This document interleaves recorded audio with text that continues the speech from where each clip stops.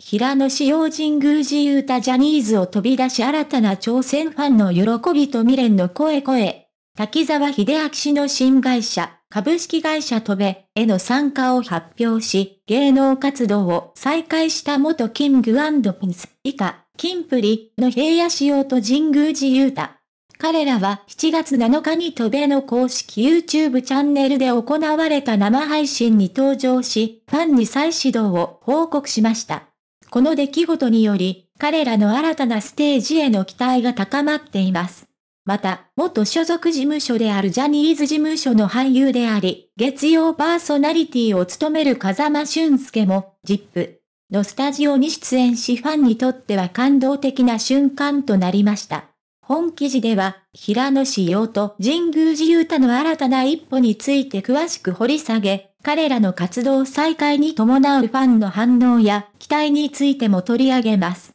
平野志陽と神宮寺勇太、新たなスタートを切る。平野志陽と神宮寺勇太は、ジャニーズ事務所を退場し、滝沢秀明氏の新会社、株式会社戸べへの参加を発表しました。彼らは7月7日に行われた戸べの生配信に登場し、再始動の意気込みを語りました。この生配信には、元 V6 の三宅健も出演し、3人で楽しい会話を繰り広げました。ジャニーズファンの衝撃と期待。平野志陽と神宮寺勇太の新たなステップにジャニーズファンは衝撃を受けました。彼らの登場に加えて、風間俊介の存在が、ジップで報じられたことはファンにとっては感慨深い瞬間でした。これまでジャニーズ事務所を退場したタレントが出演する番組で、元ジャニーズ所属者との共演が行われることは稀であり、この光景にファンは驚きと喜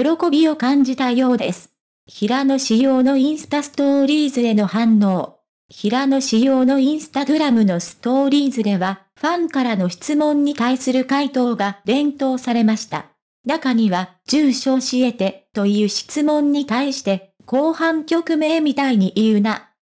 というツッコミがありました。この返答によって、平野志陽がキンプリの楽曲、名前をしいと、を連想させる発言をしたのではないかと一部のファンの間で議論が巻き起こりました。一部のファンは、彼らがジャニーズを辞めたにもかかわらず、未だにグループに関連した発言をすることに不快感を抱いたようです。平野志陽と神宮寺勇太の戸べでの新たな活動は、ジャニーズファンにとって大きな衝撃と期待をもたらしました。彼らがジャニーズ事務所を退場し、新たなステージに挑戦する姿勢は賞賛に値します。ジップでの出演やインスタグラムのストーリーズへの反応からも彼らが引き続き注目を集めることが予測されます。これからの平野仕様と神宮寺勇太の活動には多くのファンが期待を寄せています。彼らが滝沢秀明氏の下でどのような成長を遂げ、どんな新たな可能性を追求していくのか、ますます注目が高まっています。大変お世話になりました。最新の情報をスムーズに受け取るために、ぜひチャンネル登録をお願いします。心から感謝しています。ありがとうございました。